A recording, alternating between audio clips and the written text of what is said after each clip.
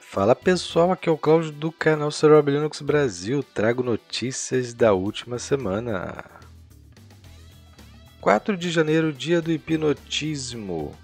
Essa profissão é muito mal reconhecida, mas tem bastante valor, hein? Alô, Rod Linux? Rod Linux. Feliz ano novo, primeira semana do ano, e foi a semana do lançamento do candidato de lançamento do kernel Linux 6.2 RC2.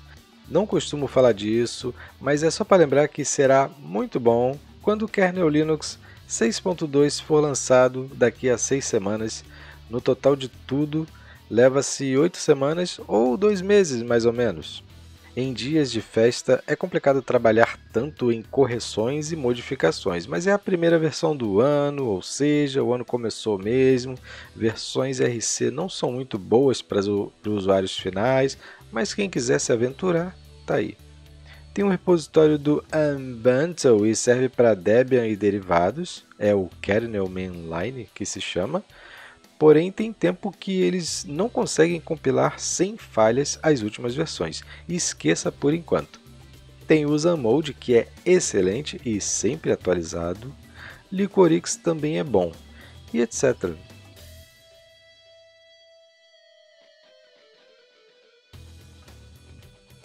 Estão trazendo de volta o Edu Ubuntu, um Ubuntu educacional eu acho que seria muito útil. Muitas instituições usavam e algumas ainda usam, mas baseado em um Ubuntu que o suporte se perdeu com o tempo. Eric Eichmeier, do Ubuntu Studio, e sua esposa May estão juntando forças para reviver a versão educacional do Ubuntu não deve se tornar uma versão oficial, mas quem sabe um dia vamos torcer para que eles consigam. Por enquanto está com uma cara não muito convencional, está sendo feito na base do Ubuntu Desktop, mas vou mudar isso.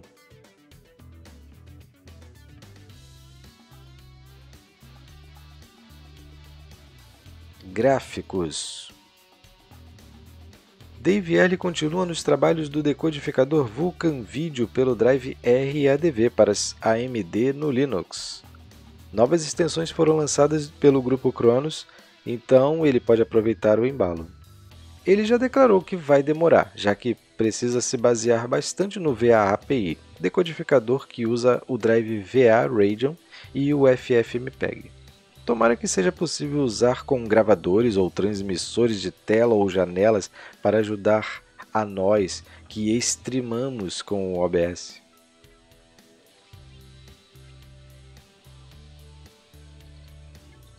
Olha os trabalhos andando. O driver Vulkan RADV, que pode ser usado com Ray Tracing em jogos compatíveis, ganhou um desbloqueio para funcionar por padrão com Quake 2 RTX e Doom Eternal eles vão rodar sem o comando radv perfTest igual RT. Desenvolvedores estão seguros que esses dois títulos não precisam de bloqueio.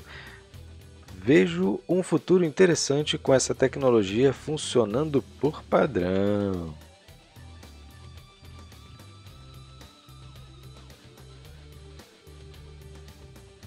Mike Blumenkrantz voltou de férias, o desenvolvedor do Zinc driver que converte OpenGL em Vulkan com o patrocínio da Valve.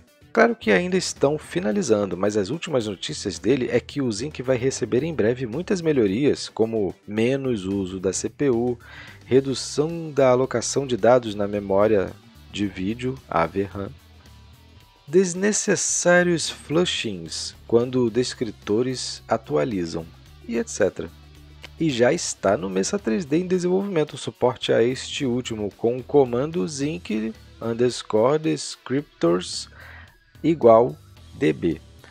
Zinc underscore descriptors em maiúscula e db em minúscula. Para ver se dá um gás aí. Alô? Graças à ajuda da extensão Vulkan Descriptor Buffer, que já está no drive RADV para placas AMD. Já jogamos alguns jogos OpenGL por Vulkan com Zinc aqui no canal e também na Twitch.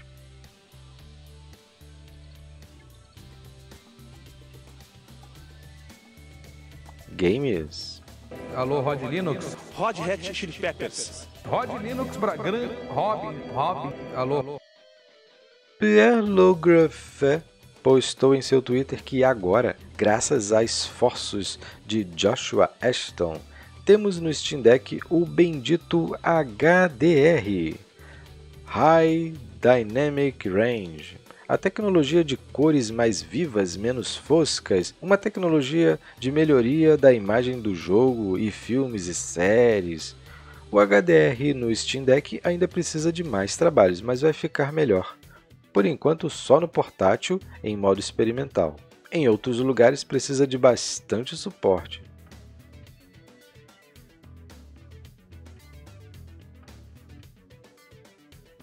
Não costumo falar da pesquisa Steam, mas acho interessante mostrar de vez em quando. Segundo a pesquisa, perdemos terreno no último mês, 0,06%, mas estamos com mais de 1%, quase 1,5%. Está crescendo. Steam Deck contribuindo bastante, foram vendidos mais de 1 milhão de unidades, muito mais de 2 milhões de jogadores no desktop, pelo menos é o que eu acho. Não se sabe o número certo. Continuem ativando a pesquisa todo mês. Procurem no canal que tem a dica de como faz. É o vídeo de 53 minutos, na descrição tem o comando para executar como usuário normal, sem sudo, sem root. Acesse esse vídeo e pegue na descrição dele.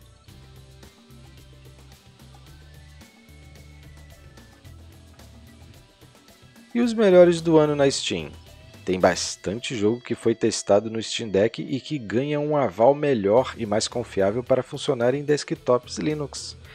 Dota 2 e Naraka são os tops. Tem outros também, mas infelizmente não rodam no Linux de jeito nenhum. Porém, outros que não estão no topo, mas foram bem no ano. GTA V, Red Dead 2, God of War e etc.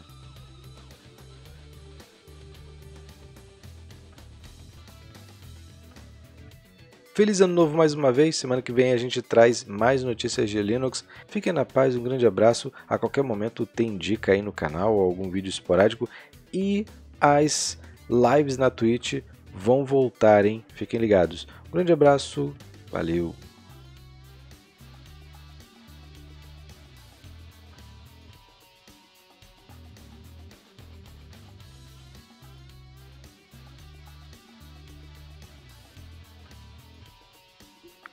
4 de janeiro, dia da hipnose. 4 de. Dave Early continua nos trabalhos de codificação.